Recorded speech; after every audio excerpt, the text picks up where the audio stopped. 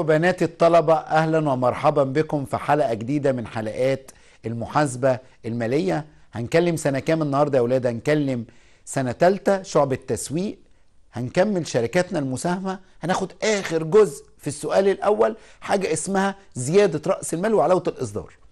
أنا عارف إن أنتم مستنيين حلقة علاوة الإصدار دي من زمان عشان نقفل إمتى علاوه الاصدار في احتياطي قانوني؟ وامتى نقول من علاوه الاصدار لاحتياطي قانوني واحتياطي خاص؟ أنا عارف. ناس كتير وأنا جاي التلفزيون بتسألني إمتى نقفل في احتياطي قانوني بس وامتى نقفل في احتياطي قانوني واحتياطي خاص؟ قلت لهم تابعوا الحلقة النهارده على التلفزيون هتفهموها قوي. طيب بس قبل ما ابتدي الحلقة يا أولاد خلي بالكم معايا. في شوية ملحوظات كده وأنا بقرأ المسألة أخلي بالي منها. لما يقول لي تكرر زيادة رأس المال من 3 مليون مثلا ل 5 مليون. يعني بيديني 2 رأس مال. يقول لي تكرر زيادة رأس المال من 3 مليون ل 5 مليون. هل أنا أبتدي الحل ب 3 مليون ولا ب 5 مليون؟ ولا 3 ولا 5 أمال إيه؟ هبتدي بالفرق. الفرق بينهم اللي هو الثلاثة ناقص الخمسة يبقوا كام؟ 2 مليون. برافو عليكم. يبقى لما يديني 2 رأس مال ويقول لي تكرر الزيادة من 3 مليون إلى 5 مليون يبقى ناخد الفرق. وخلي بالكم عشان دي بتبقى موضع أسئلة كتير في الامتحان. حلو. طب افرض قال لي القيمه الإسمية مثلا 50 وسعر الإصدار 60 الفرق ده العشرة 50 وسعر الإصدار 60 الفرق 10 ما سموهش رسوم أسميه علاوة. الرسوم هو هيقول لي رسوم. لكن لما يقول لي قيمة إسمية وسعر إصدار يعني حاجة ب 50 بتتباع دلوقتي ب 60 يبقى سعر الإصدار كام؟ 60 يبقى في علاوة 10 جنيه. طيب يبقى في ملحوظتين اهم الملحوظة الثالثه وركزوا معايا فيها بقى لما يديني زيادة رأس المال أو يديني علاوة إصدار مفيش مؤسسين لأن الزيادة والعلاوة دي بيدفعها المكتتبين.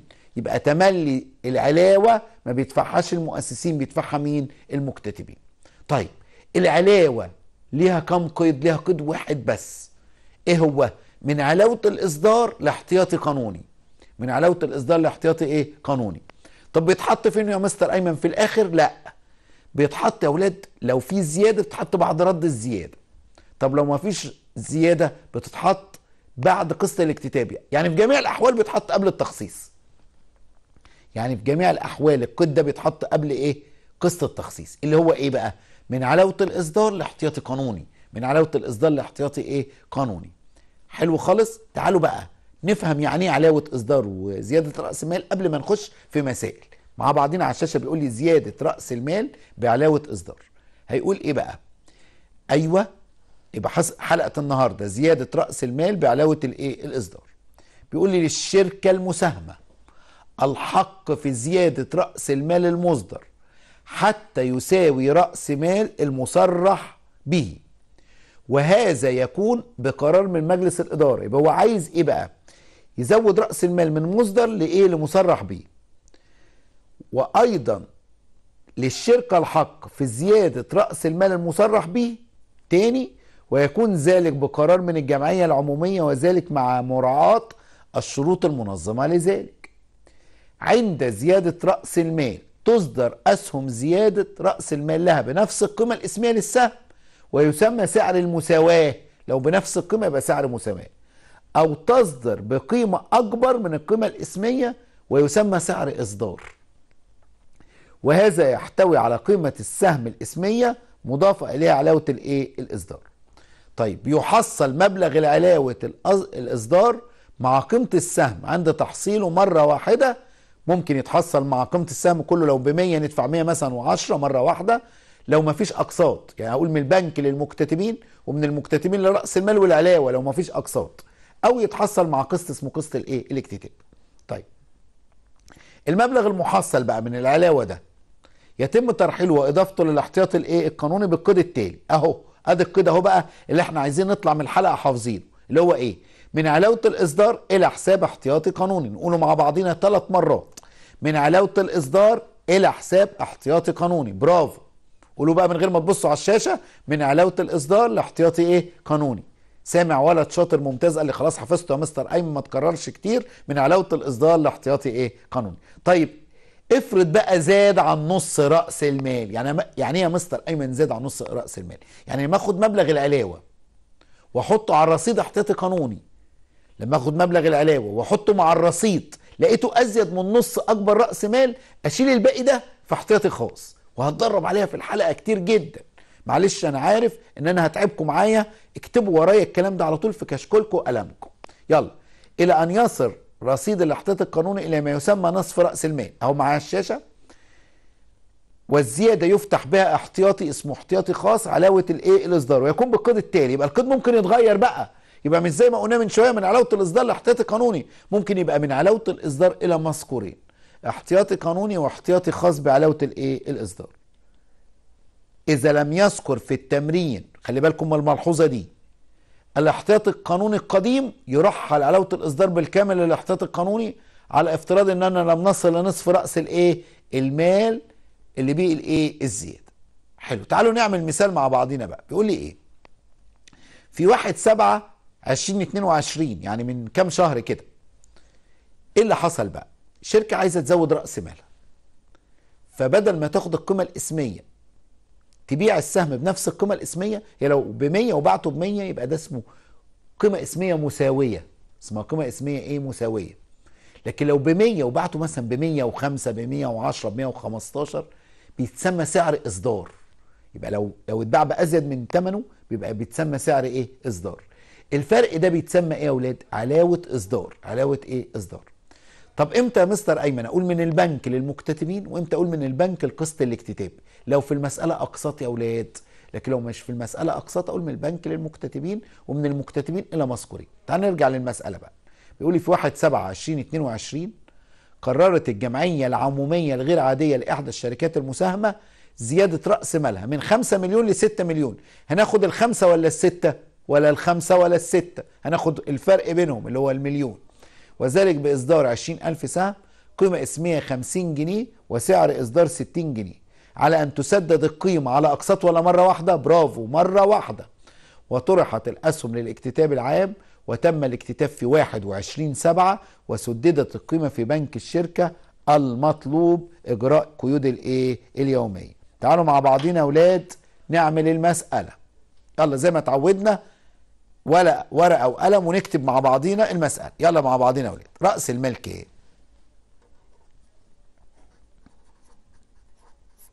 رأس المال يا أولاد هناخد الخمسة مليون ولا الستة مليون؟ هنكتب خمسة مليون دي ولا الستة مليون؟ هناخد الفرق. من خمسة لستة يبقى كام مليون؟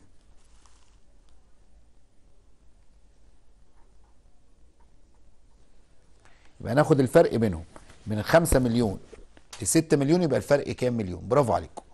طب القيمة الإسمية كام؟ هو مديني القيمة الإسمية 50 جنيه. وسعر الإصدار كام؟ سعر الإصدار 60 حاجة ب 50 بعناها ب 60 يبقى في فرق 10 جنيه أهي يا ولاد.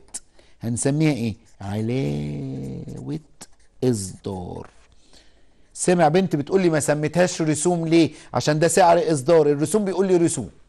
طيب أنا عندي رأس المال وعندي القيمة الإسمية يبقى أنا بطلع عدد الأسهم. هنقسم المليون. على الخمسين يطلع عشرين ألف سهم. في مؤسسين ولا ما فيش؟ ما فيش عشان في علاوة. يبقى العشرين ألف خدوهم مين؟ المكتتبين. والحمد لله ما عطانيش زيادة ولا أي حاجة.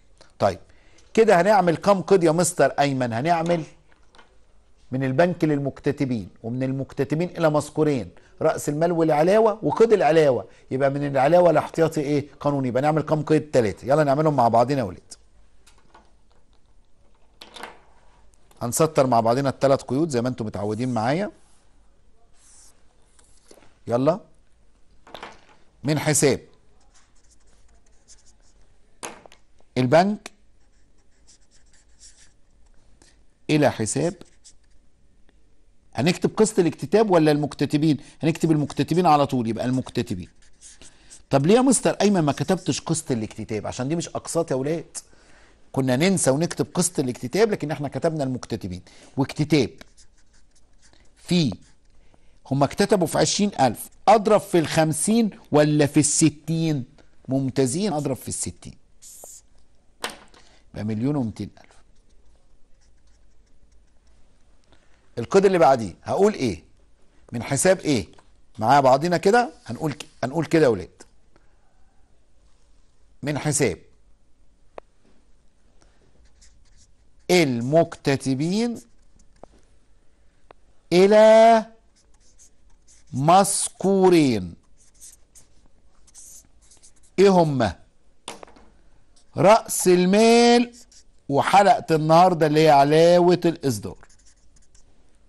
هنضرب العشرين ألف هنا في كام وهنا العشرين ألف في كام؟ عشرين ألف هنا في خمسين وهنا في عشر هنا بمليون وهنا بميتين ألف يبقى مليون وميتين ألف. حلو خالص. في قيد تالت يا مستر أيمن ولا ما فيش قيد تالت؟ في قيد تالت يا ولاد اللي هو قيد إيه يا مستر؟ قيد العلاوة. يلا نعمله مع بعضنا يا مستر أيمن قيد العلاوة. أهو هعمله لكم كده من غير ما أسطر عشان نعمله يبقى من حساب إيه؟ علاوة الاصدار.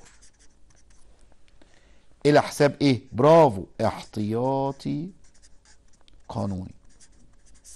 طب ممكن أقول احتياطي قانوني واحتياطي خاص؟ لو في رصيد وأشوف العلاوة هتزيد لما أحطها هتزيد عن نص رأس المال ولا لأ. وأقول إقفال. العلاوة في احتياطي قانوني.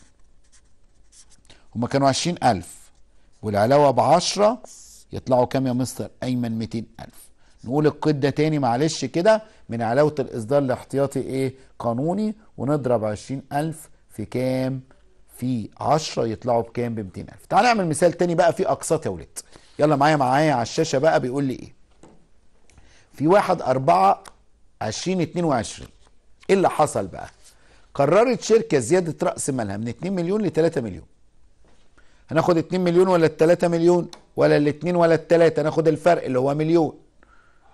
بقيمة اسمية 20 جنيه وعلاوة إصدار 5 جنيه. يبقى القيمة الاسمية 20 وعلاوة إصدار 5 وطرحت للاكتتاب العام على أن تسدد على أقساط. 12 جنيه قسط اكتتاب يشمل العلاوة يعني القسط بسبعة والعلاوة بخمسة. و8 جنيه قسط تخصيص وخمسة قسط أول وإيه وأخير.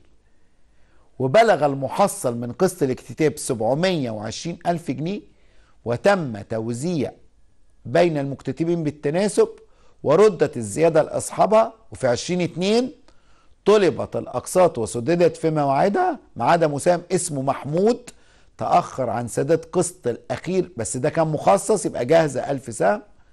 المطلوب قيود اليومية علما بأن رصيد احتياطي القانوني مديني رصيد. علما بأن رصيد احتياطي القانوني قبل الزيادة بمليون وكام و300 ألف. طب لما يديني رصيد احتياطي قانوني يا مستر أيمن هعمل إيه؟ لما يديني الرصيد هجيب العلاوة وأحطه مع الرصيد إذا زاد عن نص أكبر رأس مال يبقى في احتياطي خاص. تاني هجيب العلاوة وأحطها مع الرصيد يبقى أجيب العلاوة وأجمعها على الرصيد. لو طلع أزيد من نص رأس المال يبقى في احتياطي خاص. تعال نلخص المسألة مع بعضينا كده يا أولاد بقى واحدة واحدة ونحلها مع بعضينا. أنا شايف بنت قامت جابت ورقة وقلم وبتكتب معايا. يلا رأس المال. هناخد 2 مليون ولا 3 مليون؟ خلاص يا مستر أيمن لما يدينا 2 رأس مال هنطرحهم من بعض وناخد مليون. أنت معاك 2 مليون وقررت زيادته لثلاثة يبقى رأس المال هناخد الفرق بينهم اللي هو مليون. طيب القيمة الإسمية 50 وهو مديني علاوة يا ولاد علاوة إصدار 5 جنيه. وال50 دي قسمها. 12 اكتتاب و8 تخصيص وخمسة أخير. بس ال 12 دي مش هنسيبها 12 كده. سبعة القسط وخمسة العلاوة. سبعة القسط وخمسة الايه العلاوة. حلو. أنا لازم يكون عندي عدد الأسهم. أجيب عدد الأسهم إزاي؟ أقسم المليون طبعا أنتوا شاطرين. على القيمة الإسمية اللي هي خمسين يطلع عشرين ألف. طيب بما أنكم مركزين معايا وشايفكم منتبهين قوي للحلقة أدي كام للمؤسسين؟ وكام للمكتتبين؟ برافو مفيش مؤسسين يا مستر عشان في زيادة رأس مال وفي علاوة. برافو عليكم. طب في المكتتبين عايز أجيب صاد يعني مصدر. وعايز أجيب المكتتب فيه وعايز أجيب الزيادة هم عشرين ألف المصدر احطهم هنا. طب المكتتب فيه مديهولي على الشاشة قال لي إيه بقى؟ أهو على الشاشة يا ولاد. قال لي بلغ المحصل من قسط الاكتتاب سبعمية وعشرين ألف جنيه. سبعمية وعشرين ألف جنيه. يبقى بلغ المحصل من قسط سبعمية وعشرين ألف أجيب السبعمية وعشرين ألف دي أقسمها على إيه؟ على قسط الاكتتاب قسط الاكتتاب اللي هو كام يا مستر أيمن؟ اللي هو 12 يبقى لما يدالي بالجنيه يا ولاد أقسمها على قسط الإيه؟ الاكتتاب طيب هتطلع كام يا مستر أيمن؟ هتطلع ستين ألف يبقى بدل ما يكتتبوا في عشرين هيكتتبوا في كام؟ في ستين. ماشي. يبقى في زيادة كام يا مستر أيمن؟ أربعين ألف. حلو خالص. تعالوا نعمل القيود. هنقول إيه بقى؟ معايا بقى كده في القيود.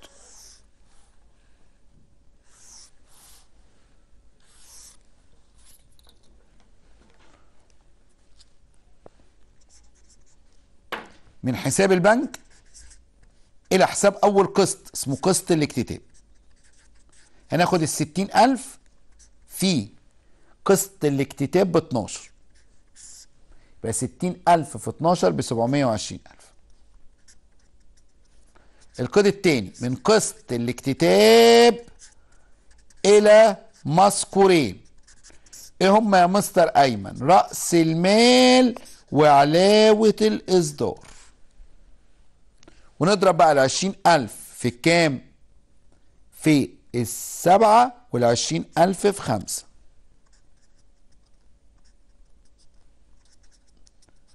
ونعمل قيد رد الايه يا مستر أيمن قيد رد الزيادة من قسط الاكتتاب إلى حساب البنك. رد أربعين ألف في كام يا مستر أيمن؟ في 12 ب 480 ألف. ونعمل قيد العلاوة بقى يا مستر أيمن القيد بتاع النهاردة. هنقول إيه بقى؟ نعمل قيد العلاوة عشان هو الجديد. من علاوة الإصدار إلى حساب احتياطي قانوني. العلاوة هم كام عدد الأسهم كانوا كام؟ 20000 ضربناهم في كام يا مستر أيمن في قيمة العلاوة اللي هي 10 طلعوا بكام؟ في خمسة. طلعوا ب 100000 من علاوة الإصدار الاحتياطي إيه؟ قانوني. يبقى من علاوة الإصدار الاحتياطي قانوني 20000 في خمسة بكام؟ ب 100000 جنيه حلو خالص ونعمل قسط التخصيص ونعمل قسط أول وإيه؟ وأخير تعال نعمل تمرين بقى كده بس فيه اختيارات يعني إيه اختيارات؟ هو ممكن في الامتحان يا مستر أيمن يجيب لي اختيارات آه ركزوا معايا بقى فبيقول لي إيه؟ اختار الإجابة الصحيحة من الإجابات التالية موضحا سبب اختيارك في كل حال مش هختار بس يا ولاد ده أنا لازم أختار وأعرف سبب الاختيار إيه. فقال لي قررت شركة زيادة رأس مالها فأصدرت أربعين ألف سهم. القيمة الإسمية كام؟ خمسين جنيه. بسعر إصدار ستين. وقال لي تلاتين جنيه قسط الاكتتاب وعشرة قسط تخصيص وعشرين قسط أول وأخير وبلغت حصيلة الاكتتاب اتنين مليون واربعمائة ألف جنيه وردت الزيادة. طب قيمة العلاوة كام؟ تعال انت الأول نلخص المسألة يا ولد بص يا ولد شركة مساهمة. قررت زيادة رأس مالها فأصدرت 40000 سهم. يبقى عدد الأسهم 40000 قيمة اسمية كام؟ قيمة اسمية 50 سعر الإصدار كام؟ سعر الإصدار 60 قيمة اسمية 50 سعر الإصدار 60 يبقى في فرق ما بينهم. من ال 60 لل 50 يبقى في 10 جنيه علاوة إصدار. طيب حد فاكر رأس المال بجيبه إزاي؟ آه برافو عليكم. أجيب رأس المال. هضرب ال 40000 في ال 50 ولا ال 60 في ال 50 يا مستر؟ في القيمه الإسمية تطلع 2 مليون. رأس المال. هو قسم ال 50 دي يا أولاد 30 اكتتاب. و10 تخصيص و20 أول وأخير. ال 30 دول هيبقوا 20 وال10 بتاعت العلاوة. طيب أنا عندي عدد الاسهم 20000 في مؤسسين ولا ما فيش فيش؟ ما فيش ليه؟ عشان في علاوة. برافو عليكم. وأنا في المكتتبين. بعمل صاد وكاف وزين. عدد الأسهم 20000 هو قال لي تم الاكتتاب في 2 مليون و400 ألف. أقسمهم على قسط إيه؟ الاكتتاب. قسط الاكتتاب بكام يا مستر؟ أيمن ب 30 ماشي. يبقى عدد الأسهم المكتتب فيها يطلع كام يا مستر؟ أيمن 80 يبقى في زيادة كام يا مستر أيمن؟ هو عدد الأسهم 40 يا ولاد. عدد الأسهم 40 يبقى المصدر 40 أهو عدد الأسهم أهو مدوم لي 40000 حطيت 40000 والمكتتب فيه طلع 80 يبقى في زيادة كام؟ 80 طيب تعالوا نعمل الاختيارات بقى. بيقول لي إيه في الاختيارات؟ العلاوة ب 10 ولا ب 20 ولا ب 30 تعالى على الشاشة معايا. العلاوة ب 10 ولا ب 20 ولا ب 30 قال لي العلاوة هتبقى ب 10 جنيه. طب ليه يا مستر أيمن؟ لأن قيمه السهم 50 ولما أجمع الأقساط 30 زائد 10 زائد 20 هتساوي 60 بقى 60 ناقص 50 بطلعت بكام؟ ب 10 جنيه. طيب عدد الأسهم المكتتب فيها أنا لسه جايبها. 30000 ولا 75000 ولا 80000 هنختار أنهي فيهم؟ هنختار ال 80000 طب ليه بقى؟ هنجيب عدد الأسهم المكتتب فيها طلعت 80 جت إزاي؟ جبت حصيلة الاكتتاب اللي هي 2 مليون و400 ألف. قسمتهم على قسط الاكتتاب اللي هو 30 طلعوا 80 ألف. طيب إذا كانت حصيلة قسط التخصيص 390 ألف جنيه يكون عدد الأسهم المتأخرة كام؟ هو مدينا حصيلة قسط التخصيص. طيب أعمل إيه لما يدينا حصيلة قسط التخصيص؟ هيطلع 500 ولا 1000 ولا 400 تعال نشوف الأول. هنقسم على قسط التخصيص يا ولاد. يعني عدد الأسهم المتأخر فيها. طيب جم إزاي؟ هنضرب 40000 في 10 يطلع ب 400000 المفروض ألم 400000 أنا لميت 3 مليون 390000 يبقى في 10000 جنيه متأخرة. والقسط ب 10 يبقى 10000 على ال 10 يطلع قسط التخصيص ب 1000 يبقى هنختار إيه؟ 1000 سهم. طيب إذا اتأخر مساهم عن قسط أول وأخير وكان مكتتب في 1500 هيكون المتأخر عليه إيه؟ إحنا قلنا لما يكون مكتتب لازم نجيب له كلمة إيه؟ مخصص. هنضرب بقى. هنشوف بقى المخصص كام ونضربهم في القسط عشان نعرف متأخر عليه كام. يبقى تاني لما يديني مكتتب هنجيبها إزاي؟ هناخد العدد الأسهم المكتتب فيها ونضربهم في صاد على كاف عشان نعرف اتأخر في كام ونضربهم في ثمن القسط. فهو كان متأخر في 1500 هنضربهم في صاد على كاف اللي هي 40000 على 80000 تطلع 750 أضرب ال 750 في 20 تطلع بكام يا مستر أيمن؟ ب 15000 طيب تعال نعمل مثال تاني بقى يا أولاد بيقول لي إيه؟ ممكن نكتب مع بعضنا المثال دوت؟ هنكتبه كده مع بعضنا خلي بالكم المسألة ده في بقى رسوم الإصدار بتاعت الحلقة اللي فاتت كمان. يبقى هنعمل الرسوم ونعمل العلاوة عشان نبقى شملنا البابين وكل الجزء الأولاني بتاع الشركات. فبيقول لي الشركة مساهمة 100000 سهم. نركز في المسألة دي شوية معلش. القيمه الاسمية كام؟ 20 جنيه. تسدد على أقساط. 7 جنيه قسط الاكتتاب يشمل رسوم الإصدار. و10 جنيه قسط التخصيص. و5 جنيه قسط أول وإيه؟ وأخير. وقال لي بلغت حصيلة الاكتتاب 910 ألف جنيه وردت الزيادة. وبلغت مصاريف التأسيس 400 ألف جنيه بشيك وتكرر استهلاك على كام سنة؟ على أربع سنوات المطلوب إكمال الناقص عايز رسوم الإصدار كام؟ وعدد الأسهم المكتتب فيها كام؟ وقيمة الزيادة كام؟ وقيمة استهلاك مصاريف التأسيس يبقى هو عامل إيه جايب لي كم... حاجات بيانات وبيقول لي كملها طيب نكتب بقى أولاد مع بعضنا كده عشان نعرف نختار هنقول رأس المال كام؟ هو مش مديني رأس مال. مش مديهولي طيب مديني عدد أسهم.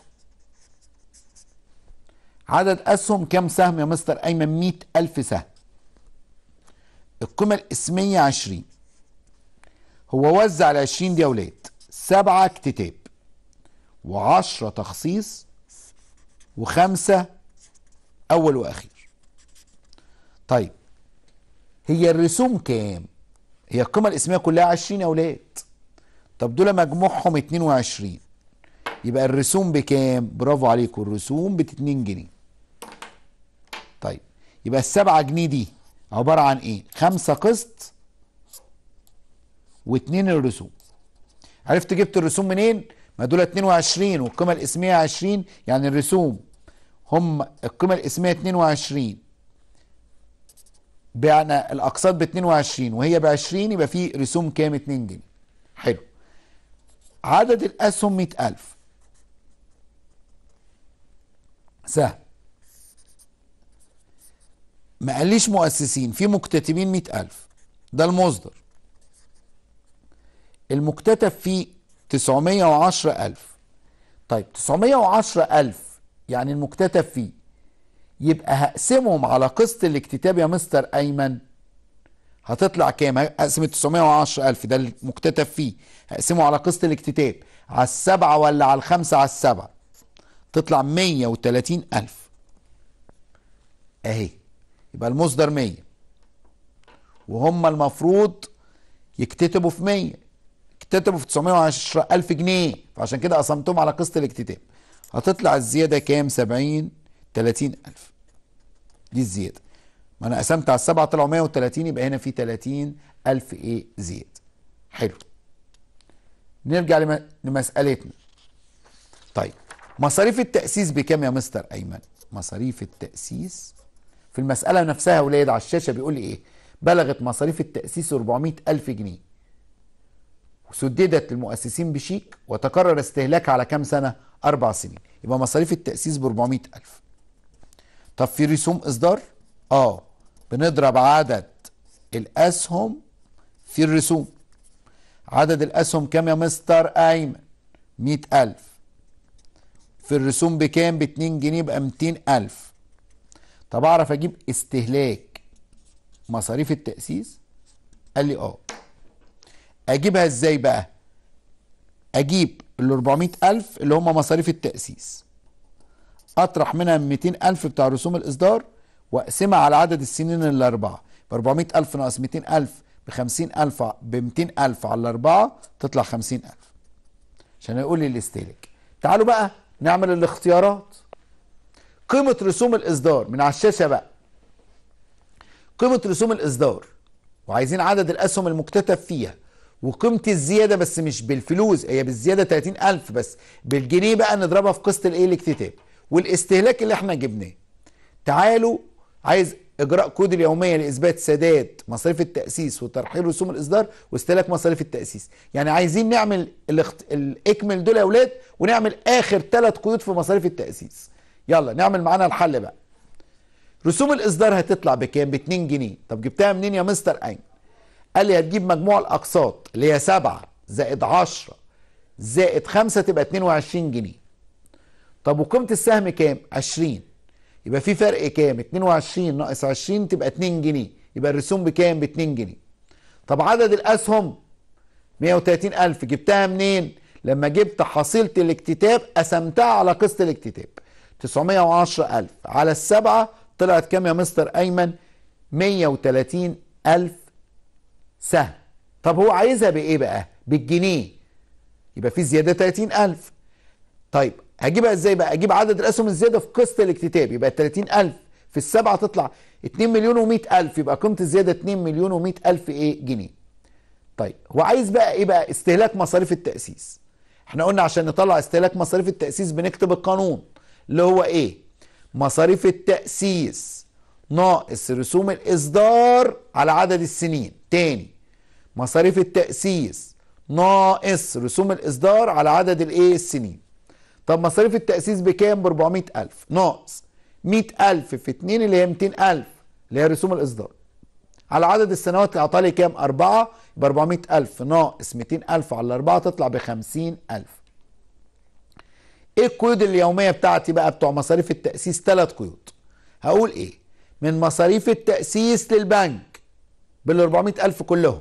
من مصاريف التأسيس للبنك بال 400000 القيد اللي بعديه من رسوم الإصدار لمصاريف التأسيس بكام؟ بال 200000 اللي هي ما ضربت ال 100000 في 2 من من أرباح وخسائر اللي هي ملخص الدخل لمصاريف التأسيس بال 50000 جم منين؟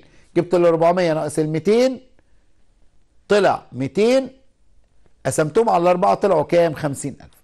تعالوا نعمل مثال تاني يا أولاد بس بعد إذنكم نركز في المثال دوت عشان أنا هعمل لكم مع العلاوة كمان تأخير. يبقى مش هكتفي بالعلاوة بس هنقفل العلاوة في احتياطي قانوني ونشوف حد من المساهمين اتأخر وسدد لو سدد بنعمل قيد ولو باع بنعمل كام قيد؟ ثلاث قيد بعد إذنكم نعمل مع بعضينا المسألة دي نكتبها واحدة واحدة. فبيقول لي إيه؟ أصدرت إحدى الشركات المساهمة 75 ألف سهم. يبقى عدد الأسهم 75 ألف سهم. القيمة الإسمية 40 25 قسط اكتتاب. و15 قسط تخصيص وخمسة قسط أول وأخير.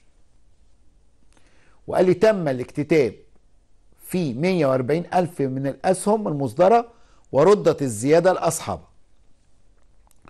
طلبت الأقساط وسددت في مواعيدها. ما عدا مساهم اسمه الزرقاني واحد اسمه الزرقاني اتأخر عن قسط الأخير وكان مكتتب حطوا خط تحت كلمة مكتتب في 1400 سهم. قلنا مكتتب هنجيب له المخصص. هنضربه في المصدر على المكتتب فيه. يبقى لما بيديني مكتتب يبقى خلي بالك هو مديني علاوة بكام يا مستر؟ ايمن مش قايل لي. طب أجيبها إزاي؟ ما هو قال لي القيمة الاسمية 40 أجمع الأقساط يا أولاد هجمع قسط كتاب 25 وقسط التخصيص 15 وقسط أول وأخير خمسة. يبقى لو جمعت الأقساط الاقيهم 45 وهو قايل لي القيمه الإسمية 40 يبقى العلاوة بكام؟ برافو في ناس مركزة معايا في الحلقة خالص. يبقى العلاوة تبقى بكام؟ بخمسة بخمسة جنيه. برافو عليكم. طب نرجع للمسألة بقى. طلبت الأقساط وسددت في موعدها ما عدا مساهم اسمه الزرقاني كان متأخر في 1400 سهم وبيعت الشركة أسهمه بسعر كام؟ 20 جنيه.